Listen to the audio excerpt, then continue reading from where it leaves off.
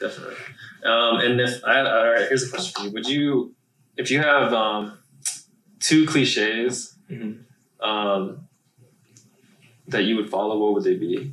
What do you mean? Like, um, As, like as just two cli- cliche sayings, like as far as um, just just in life, I guess maybe. Give me just- one example. Like, let's think of like um, what's a good cliche? Um, I can't think right now. I'm trying to think. like what? Like lifestyle or talking about music and Yeah, yeah. Uh, I was well, I was gonna like.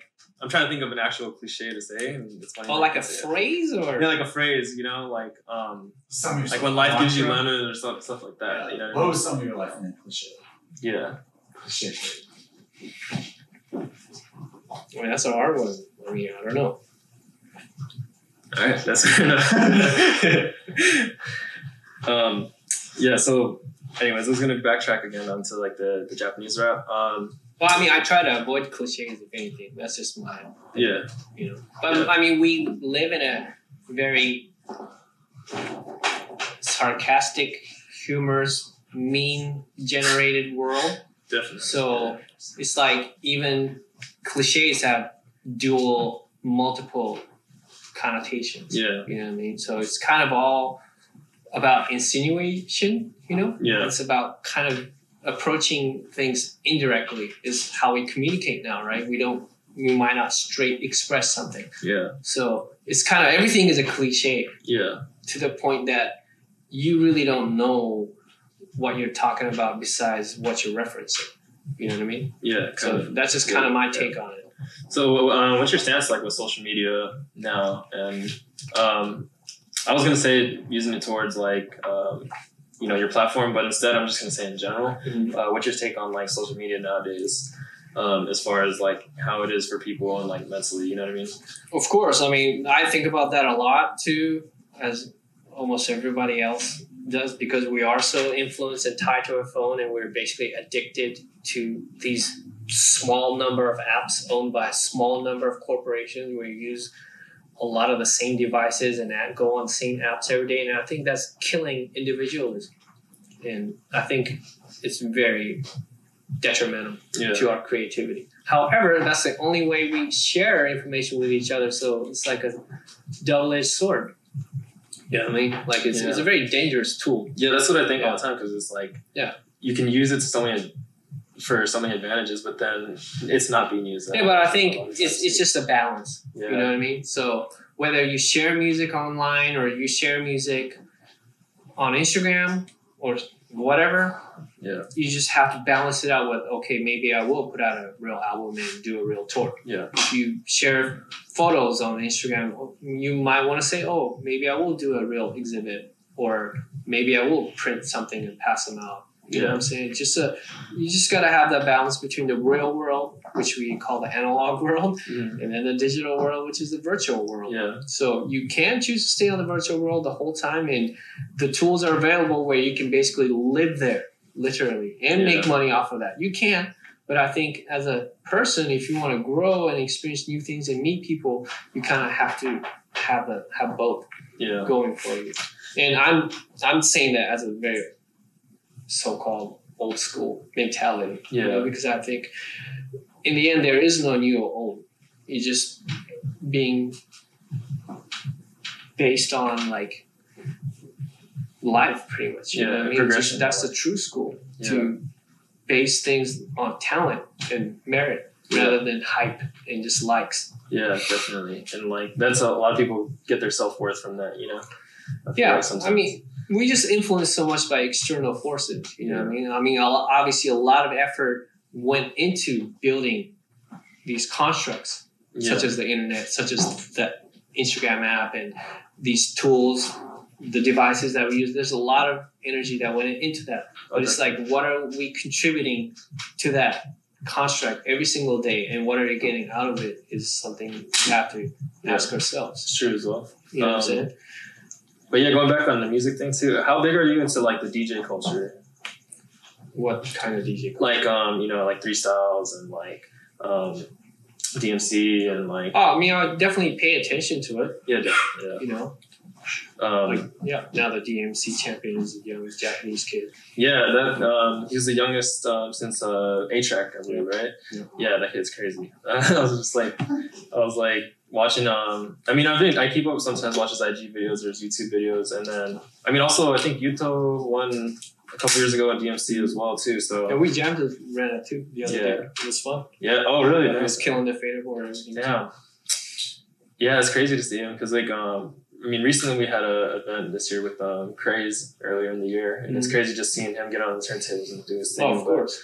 It's just like um you know because like you know the hip hop got like so I feel like in general like you were saying it's separated like the graph like, all the elements are like so separated now you know Yeah, yeah. um so it's cool to like see a lot of people still trying to keep that culture Of course. I mean, if you go to certain parts of the world, or if you actually go to a break event or a DJ event, it's a different world, man. Yeah. You know? So I definitely try to still keep friends there and tap into that world as much as I can. yeah You know, but like I said, my day to day life is more on a broader creative Yeah. realm. Also, um, I don't know. I heard this. I don't know if it's true, but if you're you're like been you've been breaking lately. Well, just because I posted me doing certain moves, it doesn't mean that I am. But Yeah, I've yeah. al- always had a tremendous respect for that Separate, art. yeah, And there's a guy named B Boy Hijack back Yeah. in Honolulu. He's still a young cat, very talented, and he's awesome at teaching too. So Yeah, yeah. I'm I'm gonna start training with him. Oh, dope, dope. But it's not. I have it Yeah, really, but also like contributing music to b boy events and stuff like that. I'm always hyped about it. My Yeah. DJ A1, he's always hyped about it. So yeah, of course I have um, respect for the b boys and b girls. yeah. And graph. When you were drawing, were you doing graph as well? So I never went full on aerosol. Mm. but I've always had appreciation again for hardcore, you know, graph and Yeah, lettering. But you know, graffiti too has evolved, and some parts have stayed the same, but some parts have really, really messed with influences outside. You know, of what you call street art, and yeah, that's like a whole other conversation. But you know what I mean? Like it's always good to be influenced by other things, so you can bring that inspiration back to what you're doing instead of just staying within that. yeah, definitely. Um, and I was gonna use. I was talking about the art, like um, with graph, but like your um, like album covers.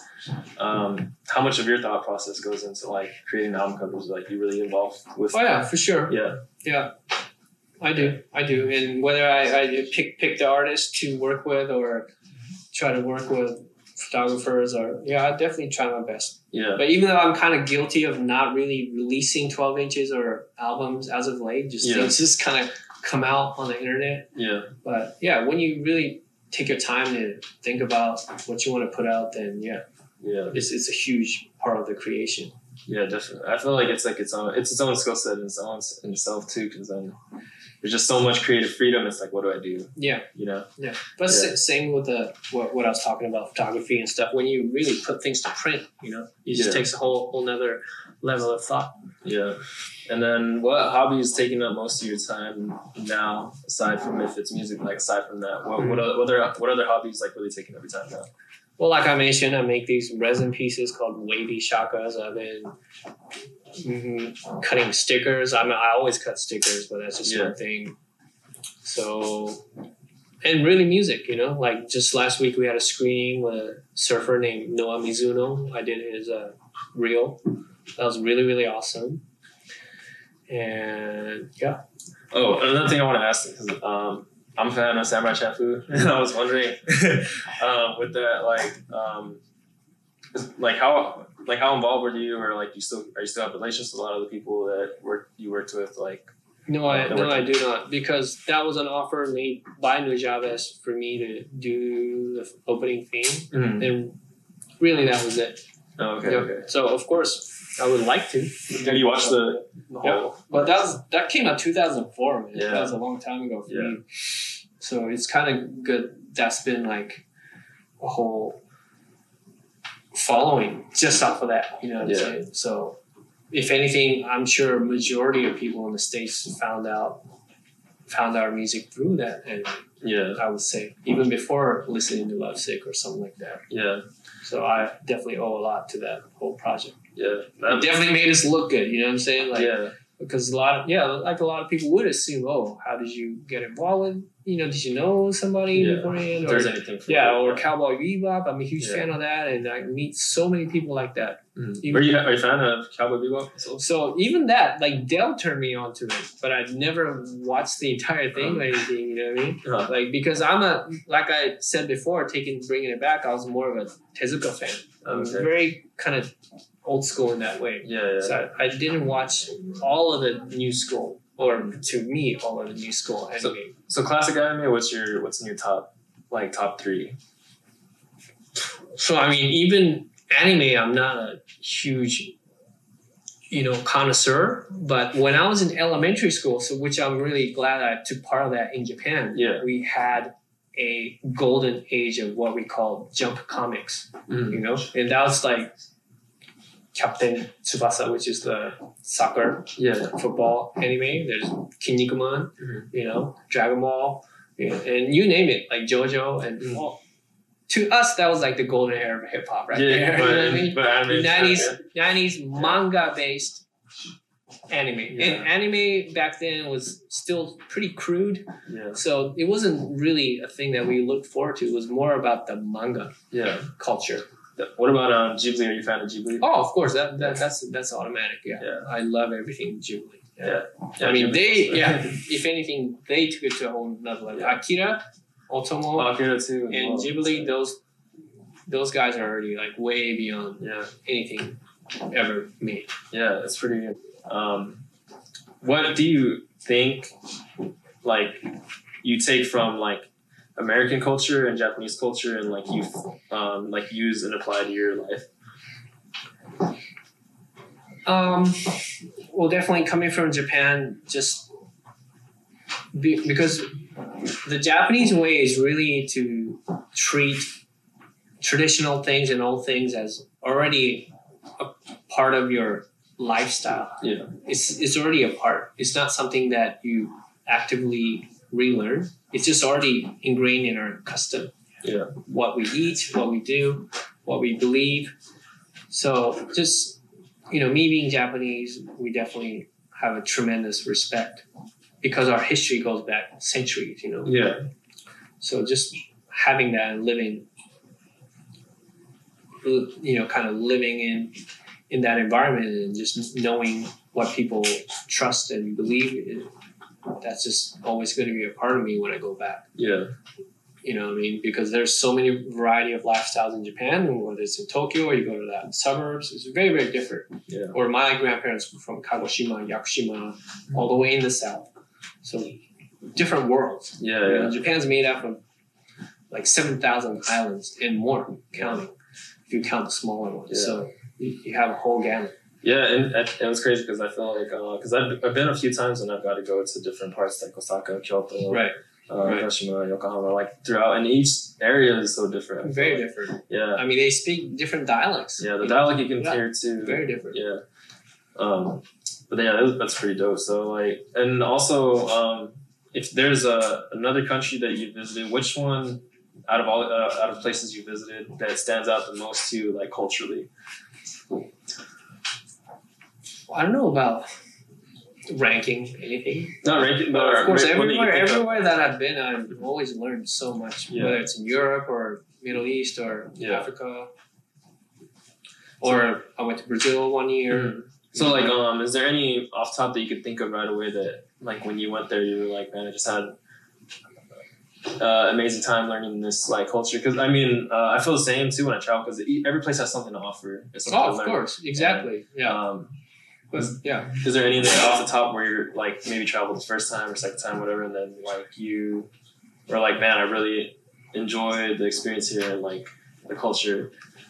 Well, like I said, you know, every place I go to, I enjoy it to the fullest. But for me, because I travel so much between U.S. and Japan, Mhm. whenever I'm outside of an English-speaking zone, it's always like challenging for me. Kind of rattles my brain a little more. Yeah, You know what I mean? So when I went to Sao Paulo, or when I went to Cairo, or yeah, even parts of Europe where they do not speak English and I'm complete foreigner lost in that environment, I definitely learn and absorb a lot more. yeah. You know, because you got to pay attention. People are just gonna look at you and assume you're of a certain country or assume they don't you don't speak English. You know what I'm saying? So they're like, tell me ni hao or konnichiwa or Yeah, yeah, and sometimes I have to you know educate them back. Like, Yeah. hey, I'm from yeah. states or That's uh, actually, you know, it's kind of uh, it's kind of a sad thing. Um, I have a story with in Europe when I was um, I was talking with a German friend and we are talking about this is like prior to this election, this recent election, um, presidential election, and we're just talking about the state of like the world and like you you know. I was pretty in tune with like what's going on with politics wise and in the world because like you know I try to stay updated, Mhm. and it's it's kind of sad that he was like, wow, for an American, you're educated on stuff like this, you know, and like to think uh, as I travel, I'm like, well, there's already this um, assumption that, oh yeah You know what I mean? stereotypes. Yeah. but then like you're saying, you do have to educate, like, hey, it's not all like. Oh This right, right, know what I of mean? course. Yeah. And it's just about like as anywhere else you go, Yeah. throughout the world, yeah, Yeah. um, But that's funny to me. Yeah, yeah, kind of too, you know. Yeah. It's like, yeah, it's it's funny, but it's like sad at the same oh, time, exactly. you know. Yeah. Yeah. It's like damn, But it's more funnier than sad. though. thought- Yeah. but yeah, uh, enjoyed my time with you this time. Mhm. Um, well, we got to go over their sound check. Yeah, so, for real. um, can you also let the people know what else you got going on, uh, where they can catch you, like as far as like social media or like anything else? Um, no. Come to Honolulu. That's where I'm at. Oh, there you go. No, I'm just kidding. Of course, you can catch me anywhere uh, online and you know what have you. Just look me up. Look them up at Shing02 Graham, Yeah, right? S H I N G zero two. Yeah. And my name will come up. Cool. All right, that's it. Thanks, Peace. man. Thank you. It. Damn. That was that. That was that was deep.